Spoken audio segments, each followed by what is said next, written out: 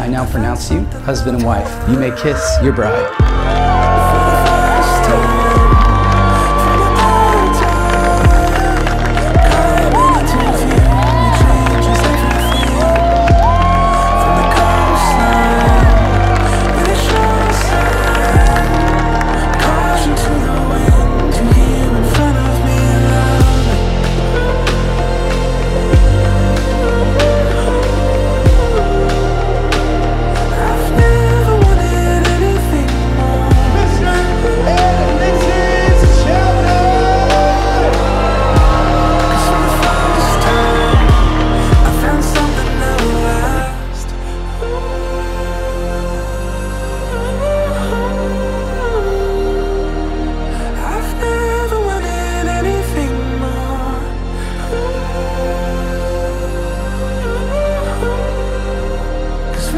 first time I found something that will last.